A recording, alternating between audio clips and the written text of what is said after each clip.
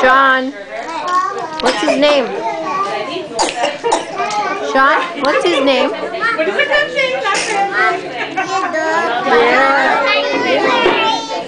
What's your friend's name, Sean?